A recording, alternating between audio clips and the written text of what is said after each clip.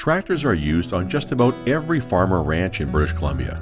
Regardless of size, a pre-operational inspection must be performed prior to any tractor's first use on a shift. Pre-operational inspections are used not only to meet WorkSafe BC regulations, but also ensure a worker doesn't drive away with a mechanically unsound piece of equipment. Pre-operation inspections are a vital component of all preventive maintenance programs. To start, make sure the tractor has been parked on level ground with good lighting. Upon entering the tractor cab, locate the pre-shift inspection booklet or document supplied by your employer, or open the app on your phone.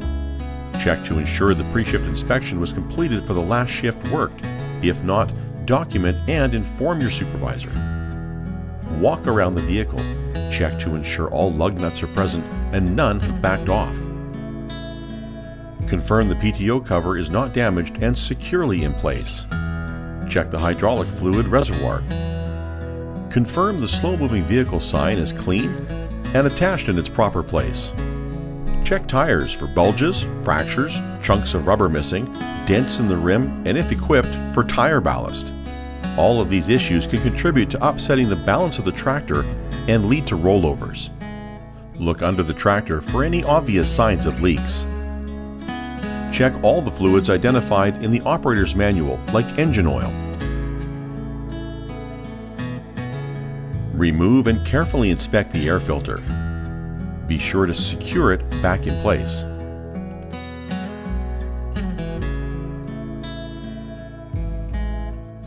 Check the battery compartment and battery to ensure cables and brackets are tight and the fluid levels are appropriate.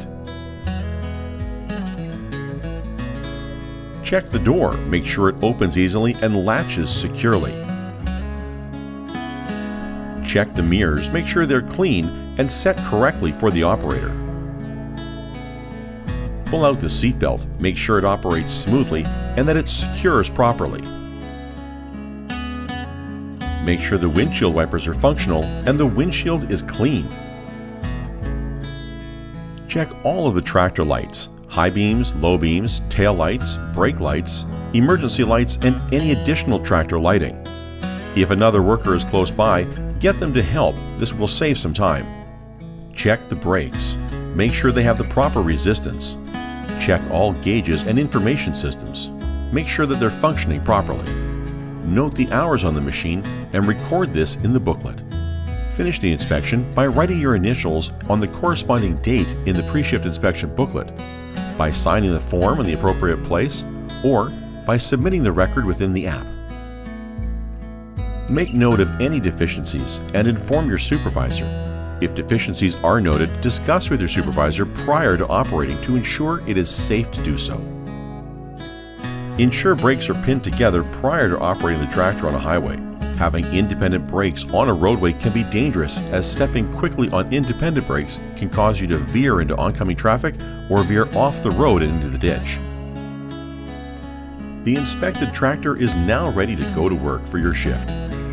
Wear your seatbelt, put your phone away, drive with caution, and stay alert.